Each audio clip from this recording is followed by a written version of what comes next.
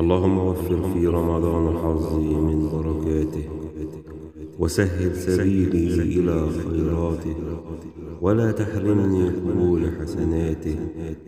يا هاديا إلى الحق المبين.